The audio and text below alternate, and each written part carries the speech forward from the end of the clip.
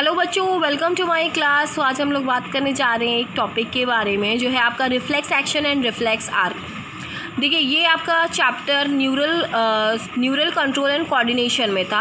ये टॉपिक के मीन्स इस चैप्टर के सारे आपके जितने भी टॉपिक्स थे, वो मैंने आपके ऑलरेडी कवर करा चुकी हूँ, ठीक है? लेकिन ये टॉपिक आपका बच गया था तो मैंने सोचा क्यों ना आज इस पर वीडियो बना दी जाए, ताकि आपका ये जो टॉपिक है, आपको ये चीज़ समझ में आ जाए कि एक्चुअल में रिफ्लेक्स एक्शन और रिफ्लेक्स आर्क का मतलब क्या है। तो अगर हम लोग सिंपल टर्म्स में बच्चों बात करें, ठीक है, यानी कि इसकी डेफिनेशन की बात करें तो रिफ्लेक्स एक्शन बेसिकली क्या होता है? तो रिफ्लेक्स एक्शन जैसे कि मैंने यहाँ लिखा है involuntary actions of a voluntary muscle तो बस यही इसकी डेफिनेशन है। आपको ये याद रखोगे, आपको याद आ जाएगा कि रिफ्लेक्स एक्शन क्या होता है और रिफ्लेक्स आर्क बेसिकली होता क्या है। अब आप सोच रहे हो कि अरे मैम, ये कैसे बता रही हैं? ये involuntary actions of voluntary muscles इसका मतलब ही नहीं समझ में आ रहा है। तो बच्चों, मैं आपको इसका मतलब समझाती हूँ। इसका मतलब क्या होता है? ठीक है, देखो, ये हो गई इसकी डेफिनेशन आपके रिफ्लेक्स एक्शन की। अब यहाँ पे ये समझो कि इनवॉलेंट्री एक्शन मतलब क्या होता है? ऑफ़ वॉलेंट्री मसल्स देखो वॉलेंट्री मसल्स बेसिकली किसको कहते हैं? वॉलेंट्री मसल्स बच्चों, उन मसल्स को कहते हैं जिन पे आपका पूरा मतलब आप कह सकते हो, जिन पे आप पूरा मीन्स वो क्या करेंगी? ठीक है कंट्रोल हो। ठीक है, कैसे करेंगी? आपको हाथ खोलना है। जैसे सपोज़ ये है।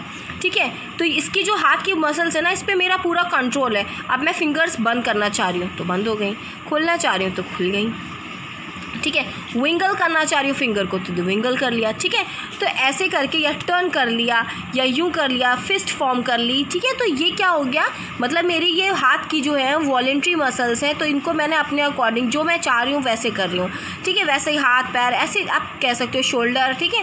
तो ये क्या हो गई? वॉलेंट्री मसल्स बच्चों, उन मसल्स को कहते हैं, जिन पे आपका कंट्रोल हो, ठीक है? यानी कि कह लो कि आपके अकॉर्डिंग ये मसल्स आप मूव करेंगे। ठीक है, ये समझ में आ गया? अब इन वॉलेंट्री एक्शंस की बात। इन वॉलेंट्री एक्शंस बच्चों, उन एक्शंस को कहते हैं जो सडन एक्शंस होते हैं, यानी कि आपने सोचा नहीं हो और वो फ़ौरन हो गए हों। मतलब इंस्टेंट हो गए हों। ठीक है, उन एक्शंस को कहते हैं। तो कई बार जो रिफ्लेक्स एक्शन होता है, देखो रिफ्लेक्स एक्शन को अगर हम लोग हिंदी में समझे तो उसको ऐसे समझ सकते हो कि इनवॉलेंट्री एक्शंस जो होते हैं, यानी कि सडन एक्शंस आपके सामने सडन एक्शंस आप परफॉर्म कर जाते हो, ठीक है? और आपकी वॉलेंट्री मसल्स जो होती हैं, यानी कि जो आपके मसल्स कंट्रोल में वो मतलब आपके कंट्रोल में ना हो के वो सडन एक्शंस को कर देती हैं। अब, अभी आपको समझ नहीं आया, अब एक एग्ज़ाम्पल देखो।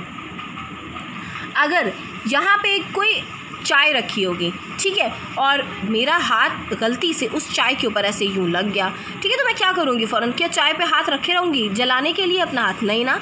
मैं जैसे चाय को मैंने हाथ लगा, मैं फ़ौरन, आह, ऐसे हटा लिया कि नहीं नहीं नहीं, अरे, चाय से जल गई, ठीक है? तो इसको क्या बोलते हैं? इसको ही तो बच्चों रिफ्लेक्स एक्शन बोलते हैं सडन एक्शन यानी कि मैंने चाय के कप को छुआ, मैंने कहा, आ, ये तो जल रहा है, ठीक है? उसके बाद मैंने अपना हाथ खींच लिया, अपना फ़ौरन हटा लिया। तो वो एकदम सडन था, ठीक है? सडन चीज़ थी जो मैंने करी। तो उसी को हम लोग रिफ्लेक्स एक्शन बोलते हैं। अब समझ में आ रहा होगा आपको। देखो, यहाँ पे आपके एन में एक डायग्राम गिवन है। इस डायग्राम में आपका दिखा रहा है कि स्ट्यूमलेस स्ट्यूमलेस में क्या दिया गया है? कील। ठीक है, यानी कि एक नेल दिया हुआ है। आपने नेल के ऊपर बाई मिस्टेक आपने पैर रख दिया। ठीक है, आपका जैसे ही फुट पड़ा तो उसके बाद क्या हो गया? आपने भाई, जैसे ही पड़ेगा, आप फ़ौरन हटाओगे ना पैर। तो उसी को ही तो बच्चों कहते हैं रिफ्लेक्स एक्शन यानी कि आपकी वॉलेंट्री मसल्स आपके इनवॉलेंट्री एक्शंस को परफॉर्म कर जाए। आई होप आप समझ में आ गया होगा कि मैं क्या कह रही हूँ। ठीक है, यानी कि जैसे ही आपने इस नेल के ऊपर, यानी कि जैसे इस कील के ऊपर पैर पड़ा आपका, वैसे ही आपने अपने पैर को पीछे खींच लिया। तो इसको हम लोग क्या बोलेंगे? ठीक है, यानी कि आपके ब्रेन तक नहीं स्पाइनल कॉर्ड तक सिग्नल गया और वहाँ से आपका कि नहीं, अब आपको खींचना है, अपने पैर को हटाना है। तो फ़ौरन एकदम सडन एक्शन आपने ले लिया। उसी को हम लोग रिफ्लेक्स एक्शन बोलेंगे। अब देखो रिफ्लेक्स एक्शन में आपका लिखा क्या है? You must have experienced a sudden withdrawal of your body part which comes in a contact with object which are extremely hot, cold, pointed, ठीक है? और एनिमल्स दैट आर स्केरी और पॉइजनस तो यहाँ पे आपने क्या देखा कि आप सडन विड्रॉ कर लेते हो अपनी बॉडी पार्ट को। जैसे कि आप देखते हो ना कि कोई ऑब्जेक्ट है जो आपके लिए एक्सट्रीम हॉट है, यानी कि गर्म है, ठंडा है पॉइंटेड है, या एनिमल है जो स्केरी और पॉइजनस है, यानी कि अगर स्नैक होगा सामने आपके तो क्या आप स्नैक के पास चले जाओगे? नहीं जाओगे ना? बिकॉज़ दैट्स आर पॉइजनस और आपके लिए वो क्या है? लाइफ थ्रेटनिंग है। Right right? तो यही चीज़ है the entire process of response to the peripheral nervous stimulation that occurs involuntary यानी कि आपका जितना भी नर्वस पेरिफेरल पीएनएस जो होता है, वो क्या करता है? इन्वॉलेंट्री एक्शंस को परफॉर्म कर जाता है। विदाउट कॉन्शियस एफर्ट और थॉट यानी कि यहाँ पे आप पहले सोचते, समझते नहीं हो, आप फ़ौरन क्या होते हैं? सडन एक्शन करते हो require involvement of a part of the central nervous system जिसको हम लोग रिफ्लेक्स एक्शन बोलते हैं, ठीक है? देखो सी एन एस आपको पता ही है कि सी एन एस किससे मिलकर बना होता है? ब्रेन और स्पाइनल कॉर्ड से मिलकर बना होता है, ठीक है? आप reflex pathway comprises at least one of यानी कि जो रिफ्लेक्स पाथवे होता है, यानी कि रिफ्लेक्स एक्शन में जो रिफ्लेक्स पाथवे होता है अब बच्चों, यहाँ पे देखो, ये तो मैंने आपको बता दिया ना कि रिफ्लेक्स एक्शन क्या होगा। रिफ्लेक्स एक्शन मतलब आपने कुछ भी ऐसे गर्म, ठंडे किसी भी चीज़ पे आपने पैर या हाथ कुछ भी रखा और सडनली आपने उसको खींच लिया, यानी कि वापस कर दिया। ठीक है तो उसको हम लोग बच्चों रिफ्लेक्स एक्शन बोलते हैं। ये जो पूरा पाथवे होगा, यानी कि इसमें कौन सी मसल्स इन्वॉल्व है, कहाँ पे सिग्नल जा रहा है, कहाँ से आपकी वापस से सिग्नल्स को ट्रांसमिट करा गया, यानी कि बॉडी पार्ट तक उस पूरे पाथवे को बच्चों हम लोग बोलते हैं रिफ्लेक्स आर्क अभी मैं आपको रिफ्लेक्स एक्शन फिर से एक बार डायग्राम में समझाऊँगी तो आपको समझ में आ जाएगा। यहाँ पे देख लो आपको लिखा क्या है। The reflex pathway comprises of at least one afferent neuron यानी कि यहाँ पे आपका एक एफरेंट न्यूरोन है और एक इफरेंट न्यूरोन है। Right right? Approximately arrange in a series यानी कि सीरीज़ में अरेंज होते हैं आपके दोनों तरह के neurons the efferent neurons sorry afferent neurons जो होते हैं, वो रिसीव करते हैं सिग्नल्स कहाँ से? आपके सेंसरी ऑर्गन्स और ट्रांसमिट करते हैं impulses via dorsal nerve root into the C N S यानी कि जो आपके एफरेंट न्यूरॉन होते हैं, वो सेंसरी ऑर्गन्स यानी कि जो सिग्नल्स होते हैं, आपके सेंसरी ऑर्गन से, यानी कि टच आपको पता होगा कि टेस्ट है टच है, ये सारी चीज़ें जो होते हैं फाइव सेंसरी ऑर्गन्स होते हैं, वहाँ से ये रिसीव करके आपके जो सेंस ऑर्गन्स होते हैं, ये कहाँ पे भेजेंगे आपके? जो एफरेंट न्यूरॉन्स होंगे, वो भेजेंगे आपके सेंट्रल नर्वस सिस्टम में सीएनएस में। ठीक है, फिर सीएनएस से क्या होगा? वापस से आपके पास जो आपने वहाँ पे क्या होगा? प्रोसेस होगा। प्रोसेस के बाद वापस से सिग्नल सेंड होंगे।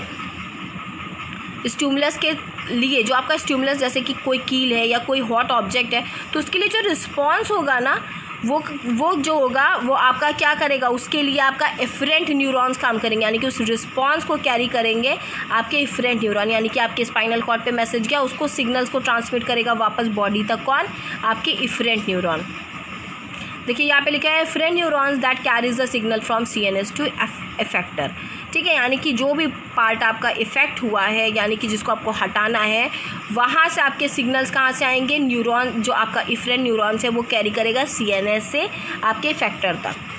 तो ये बात समझ में आ गई क्योंकि stimulus and response that forms a reflex arc ठीक है, यहाँ पे फिगर में आपका गिवन है। ठीक है, अब यहाँ पे आप एक चीज़ यहाँ पे देख लो कि मैंने आपको बताया ना effect efferent sorry afferent neuron और efferent neuron if sorry afferent neuron की आपकी मैंने एक डेफिनेशन लिख कर रखी हुई है, उसको भी एक बार ध्यान से देख लेना. Neurons that carry information from the sensory receptors यानी कि ऐसे न्यूरॉन्स जो कैरी करते हैं इन्फॉर्मेशन को सेंसरी रिसेप्टर से. ठीक है? यानी कि कोई भी आगर हो गया, आपका स्किन भी तो होता है, ठीक है? तो क्या हो गया, आपने वहाँ पे इंफॉर्मेशन को कैरी करा और उसके बाद आप उसको ट्रांसमिट कहाँ करोगे? सीएनएस में करोगे, ठीक है? To all the body parts towards the यानी कि पूरी बॉडी के पार्ट से लेकर आप कहाँ भेजोगे? सी एन से। तो सिंपल सी बात है कि एफरेंट न्यूरॉन क्या करते हैं? आपके सिग्नल्स को ले जाने का काम करते हैं सेंट्रल नर्वस सिस्टम तक। और इफरेंट उसका ऑपोजिट काम करते हैं, यानी कि सेंट्रल नर्वस सिस्टम से वापस बॉडी तक। यानी कि जो भी स्ट्यूमलस है, उसके लिए रिस्पॉन्स को लाते हैं। Right right? तो यहाँ पे फ्रेंड की भी डेफिनेशन लिखी हुई कैरी ये ऐसे न्यूरॉन्स होते हैं जो carry motor information away from C N S to muscles और glands of the body right तो यहाँ पे आपको आई होप क्लियर हो गया होगा। अब आपको मैं समझाना चाहती हूँ इस डायग्राम के थ्रू अब इस डायग्राम को ध्यान से देखना। यस तो आपने यहाँ पे देखा कि स्ट्यूमुलस यानी कि स्ट्यूमुलस आपका कोई एक कील है जिसको हम लोग नील बोलते हैं, ठीक है?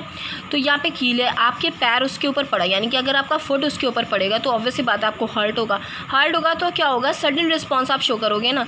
तो सडन रिस्पॉन्स के लिए क्या होगा? मैसेज कहाँ से ट्रांसफ़र होगा? यहाँ पे मसल्स स्पिंडल रिसेप्टर्स है। यानी कि यहाँ पे पेन रिसेप्टर्स प्रेजेंट हो गए, आपको पेन फील हुआ तो आपके जो एफरेंट न्यूरॉन्स हैं, वो एक्टिव हो गए। एफरेंट न्यूरॉन जो होंगे, वो सिग्नल्स को ट्रांसमिट करेंगे जो आपका सिग्नल्स को ट्रांसमिट करेंगे, डॉर्सल रूट गैंगलियन प्रेजेंट होते हैं। वहाँ से जाएगा, वहाँ से जाने के बाद आपका स्पाइनल कॉर्ड में आएगा। ठीक है, स्पाइनल कॉर्ड जो होगा, आपके मैसेज को रिसीव करेगा। रिसीव करने के बाद वापस से सिग्नल सेंड करेगा मोटर न्यूरॉन्स के ज़रिए। यहाँ पे मोटर न्यूरॉन्स होते हैं। ठीक है, और यहाँ पे इंटर यहाँ पे लिखा है ना इंटर न्यूरॉन तो इंटर न्यूरॉन भी मैं अभी आपको समझाऊँगी कि इंटर न्यूरॉन ब्रिज के न्यूरॉन्स होते हैं। तो एफरेंट यहाँ से सिंपल से फिर से देखना, यहाँ पे आपका नेल पिक हुआ, अगर आपके पैर पड़ा, फिर उसके बाद आपका पेनफुल रिसेप्टर से यानी कि एक्टिव हो जाएँगी, जिस मसल्स स्पाइन स्पिंडर लिखा हुआ है। एफरेंट पाथवे में एफरेंट न्यूरॉन्स एक्टिव हो जाएँगे। एफरेंट न्यूरॉन्स क्या करेंगे उसको? आपके एफरेंट न्यूरॉन्स आपके इम्पल्सेस को लेकर जाएँगे सिग्नल्स को लेकर जाएँगे डॉल्सल रूट गैंग्लियन प्रेजेंट होगा। वापस आपके कहाँ पे जाएँगे? स्पाइनल कॉर्ड पे जाएँगे। स्पाइनल कॉर्ड पे के पास ही यहाँ पे इंटर न्यूरॉन इंटर न्यूरॉन एक ऐसा न्यूरॉन है जो आपके एफरेंट और इफरेंट को कनेक्ट करता है। ठीक है, वहाँ पे प्रेजेंट होंगे, वो सिग्नल्स को ट्रांसमिट करेगा मोटर न्यूरॉन सिग्नल्स को वापस लेकर जाएँगे। इफरेंट न्यूरॉन्स यहाँ पे काम करेंगे कि मोटर मोटर जो सिग्नल्स होंगे, यानी कि मोटर सिग्नल्स को वापस लेकर जाएगा इफरेंट पाथवे यानी कि इफरेंट न्यूरॉन और वापस आपका कहाँ जाएगा? आपका वापस उसी एरिया पे जाएगा जहाँ पे आपके चोट लगी होगी, यानी कि जहाँ पे आप हर्ट हुए होंगे। ठीक है, और आप फ़ौरन क्या होगे? रैंडम अपने पैर को पीछे कर लोगे। तो बेसिकली यही आपका डायग्राम आपसे कह रहा है, ठीक है? तो मैं आपको यहाँ पर एक चीज़ बताना चाहती हूँ कि बोथ जो आपके इफरेंट और एफरेंट और इफरेंट न्यूरॉन्स होते हैं फाइबर होते हैं, वो एक दूसरे के साथ वर्क करते हैं, लेकिन वर्क करते हैं in order to sense and respond to stimulus यानी कि साथ पे काम तो करते हैं।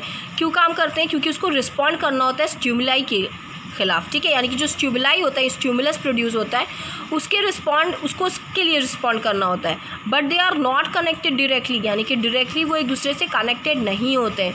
तो डायरेक्टली कनेक्टेड नहीं होते तो फिर ट्रांसमिशन कैसे होता है? तो अभी मैंने आपको बताया कि यहाँ पे इंटर न्यूरॉन्स प्रेजेंट होते हैं। यानी कि जो आपका इफरेंट पाथवे होता है इफरेंट न्यूरॉन्स होते हैं एफरेंट न्यूरॉन्स आपके सिग्नल्स को लेकर तो आते हैं, लेकिन भाई कनेक्शंस की भी तो ज़रूरत है तो वहाँ पे क्या प्रेजेंट होगा? आपका इंटर न्यूरॉन्स तो इंटर न्यूरॉन्स को बच्चों एसोसिएटेड न्यूरॉन्स भी कहते हैं। ठीक है तो एसोसिएटेड न्यूरॉन्स जो होंगे, वो आपको दोनों के बीच में कनेक्शन प्रोवाइड करेंगे। फिर सिग्नल्स वापस जाएगा आपके मोटर न्यूरॉन में। मोटर न्यूरॉन से जो इफरेंट न्यूरॉन्स प्रेजेंट होंगे इफरेंट उसको कैरी करेंगे और वापस आपके पास लाएँगे। ठीक है? तो आई होप आपका ये समझ में आ गया होगा। अब बच्चों, एक चीज़ मैं आपको ये भी बताना चाहती हूँ कि यहाँ पे हम लोग ने स्पाइनल कॉर्ड की बात करी, ठीक है? यहाँ ब्रेन की बात नहीं करी। तो बच्चे सिग्नल जो होते हैं वो दोनों के पास जाते हैं, यानी कि स्पाइनल कॉर्ड के पास भी जाते हैं ब्रेन के पास भी जाते हैं। लेकिन जब आपको सडन रिस्पॉन्ड देना होता है, ठीक है? तो भाई सडन रिस्पॉन्स के लिए आपके स्पाइनल कॉर्ड ज़्यादा एक्टिव होता है तो वहाँ पर सिग्नल जाते हैं, वहाँ से रिस्पॉन्स आता है। ठीक है अगर सपोज़ मान लो अगर हमें आ, कोई भी कप रखा है ठीक है कोई भी हॉट कप है यानी कि चाय रखी है सपोज़ चाय मेरे हाथ के ऊपर गिर गई ठीक है तो मैं फ़ौरन सडन तो रिस्पॉन्स शो करूँगी ना कि अगर चाय गिरी तो मैं फ़ौरन आ हट डालूँगी अरे नहीं चाय से जल गए ठीक है राइट तो अगर आप वहाँ पे अगर ऐसे नहीं करोगे अगर सिग्नल जो होंगे आपकी सपोज़ स्पाइनल कॉर्ड पे ना जाके आपके ब्रेन पे जाएँगी तो ब्रेन भाई ब्रेन तो दूर पहुँच गया। ब्रेन के पास जाएँगे डिफरेंट पार्ट्स के पास जाएँगे, उसके बाद वहाँ पे प्रोसेसिंग होगी, फिर उसके बाद, फिर वहाँ पे रिस्पॉन्स शो होगा, फिर ग्लैंड्स उसमें एक्टिव होंगे, फिर वहाँ से आएगा। तो इतनी देर में तो आप इंजर्ड हो जाओगे ना? ठीक है? तो इसीलिए आपका स्पाइनल कॉर्ड फ़ौरन रिस्पॉन्ड प्रोड्यूस कर देता है। मीन्स मिली सेकेंड में रिस्पॉन्ड आ जाता है। राइट तो ये हो गया अक्सर आप देखते हो ना, कोई कीड़ा है, जैसे सपोज़ छोटे छोटे कीड़े होते हैं, उड़ रहे होते हैं, ठीक है? जैसे आप देखते हो बरसात, वरसात के मौसम में ऐसा बहुत होता है। तो आप फ़ौरन क्या करते हो, जैसे आपके आँख में लगता है, फ़ौरन आँख बंद हो जाती है। तो ऐसा क्यों होता है? क्योंकि वो मिली सेकेंड मतलब मिली से भी कम सेकेंड्स में ये चीज़ हो जाती है। वो इसलिए हो जाती है कि आप सोच के नहीं करते हो, लेकिन वो सडन रिस्पॉन्स होता है। यानी कि वहाँ पे वॉलेंट्री मसल्स आपकी एक्टिव हो जाती है इन वॉलेंट्री एक्शंस के लिए। राइट तो आई होप आपको ये क्लियर हो गया होगा। इसका एग्ज़ाम्पल मैं एक और देती हूँ। जैसे कि आप अगर बाइक चलाना सीख रहे होते हैं सपोज़ स्कूटी चलाना सीख रहे होते हैं। ठीक है तो अब आप वहाँ पे कहोगे कि वहाँ पे कई बार जब आप सीख रहे होते हो तो वहाँ पे आपका इनवॉलेंट्री एक्शन नहीं होता, वहाँ पे आपका वॉलेंट्री एक्शन होता है। क्योंकि आप किसी चीज़ को, आपको पता होता है कि आप सीख रहे हो तो आपको यहाँ पे चोट भी लग जाएगी। मीन्स आप चला रहे हो, ठीक है, और स्लिप कर गए। तो वहाँ पे आप गिर जाते हो तो वहाँ पे आप अपने आप को संभाल नहीं पाते हो। ठीक है तो वहाँ पे क्या होता है, आपको पता होता है, लेकिन अगर आप उस चीज़ को सीख लेते हो, यानी कि आपको पता होता है कि कैसे चलाई जाती है, फिर सडन अगर कोई आपके, आप जैसे सपोज़ ड्राइव कर रहे हो और आपके सामने कोई डॉग आ गया, कोई एनिमल आ गया तो फ़ौरन आप ब्रेक लगा देते हो ना। तो वहाँ पे क्या होता है इनवॉलेंट्री एक्शंस होते हैं, यानी कि आपकी जितनी भी वॉलेंट्री मसल्स होती हैं, वो इन्वॉल्व हो जाती हैं। ठीक है तो सिंपल सा आपका यही था reflex action and reflex arc तो रिफ्लेक्स एक्शन जो आपने एक्शन परफॉर्म करा, उसको हम लोग रिफ्लेक्स एक्शन बोलेंगे. रिफ्लेक्स आर्क क्या है? आपका ये जो पूरा पाथवे यानी कि एफरेंट न्यूरॉन्स जो आपके एक्टिव हुए हैं डिफरेंट न्यूरॉन्स आपके इंटर न्यूरॉन्स आपके मोटर न्यूरॉन्स जो भी पाथवे में आपके वर्क करे हैं, इस पाथवे को ऑल ओवर द पाथवे कि आपका एफरेंट से लेकर आपके स्पाइनल कॉर्ड से लेकर आपका, यानी कि आपके सीएनएस के पास जाके फ्रेंड तक तो उस पाथवे को हम लोग रिफ्लेक्स आर्क बोलेंगे। तो बच्चों, यहाँ पे आपका चैप्टर कंप्लीट हो गया, ये आपका एक टॉपिक बचा हुआ था जो मैंने करा दिया है, ठीक है? तो अब हम लोग मिलते हैं नेक्स्ट वीडियो में नेक्स्ट चैप्टर के साथ। सो आज के लिए बस इतना ही थैंक यू